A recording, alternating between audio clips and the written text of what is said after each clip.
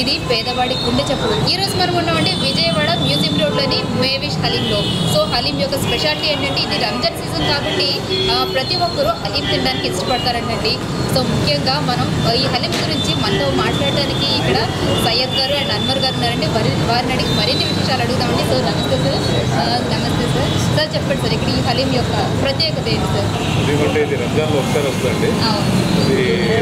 ఇయర్స్కి ఒకసారి రంజాన్ వస్తుంది కదా. రంజాన్లో వచ్చి ఇది స్పెషల్ డిష్ అండి ఇది. ఉపవాసాలు ఉంటారు కదా. ఉపవాసాలు ఉండి కొద్దిగా బాగా ఇది వీక్ అయిపోతారని చెప్పి తింటే బలం ఉంటుందని చెప్పి ఇది ఇచ్చేసారండి పెద్దోళ్ళు. ఇంకా అప్పటి నుంచి ఇది అలాగ వస్తుందండి. సో రంజాన్ మాసంలో ఎక్కువ ఉపవాసాలు ఉంటారు. సో స్పెషల్గా ఉపవాసాలు బ్రేక్ చేయడానికి సో హలీం ఎంత ఇంట్రెస్ట్గా తింటారంటే అది దాని దీనివల్ల ఏంటంటే మంచి ఎనర్జీ వస్తుందంట. సార్ మరి ఇది ఎప్పుడు స్టార్ట్ చేస్తారు సార్ ఎన్ని ఇయర్స్ పట్టింది? ఎయిట్ ఇయర్స్ ఉంటుందండి విజయవాడలో.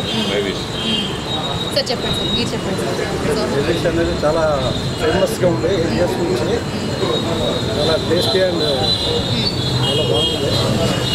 విజయవాడలో మెటీరియల్ కానీ క్వాలిటీ కానీ క్వాంటిటీ కానీ చాలా బాగుంటుందండి మన విజయవాడలో ఇక్కడ మన మేవిష్ అనేది ఐదు బ్రాంచెస్ ఉన్నాయి. ఐదు బ్రాంచెస్ చెక్ పోస్ట్లో ఒకటి.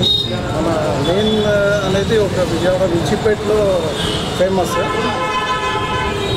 చాలా బాగుంటుంది అని చెప్పేసి ఓకే ఫైవ్ బ్రాంచెస్ ఉన్నాయంటండి. సో చాలా గ్రేట్ మరి ఇక్కడ చాలా మంది కస్టమర్స్ కూడా వస్తున్నారంటే హలీం టేస్ట్ చేయడానికి మేవిష్ నుంచి మేవిష్ హలీం నుంచి ఎక్స్క్లూజివ్ ఇంటర్వ్యూ సో సార్ చెప్పారు చాలా కమ్మగా నేరుతో తయారు చేస్తున్నటువంటి హలీం. ఇక సెవెన్ డేస్ మాత్రమే ఉంటుంది. సో మీరు కూడా మేవిష్ని విజిట్ చేయండి. ఇది ఏలూరు రోడ్ అంటే మ్యూజియం రోడ్ దగ్గర ఉందండి. సో మీరు తప్పకుండా వచ్చి టేస్ట్ చేయండి. సో ఇదండి మేవిష్ హలీం నుంచి ఎక్స్క్లూజివ్ ఇంటర్వ్యూ మరొక ఇంటర్వ్యూలో మళ్ళీ కలుద్దాం. Until then keep watching Vijayawada Times ఇది పేదవాడి గుండె చెప్పండి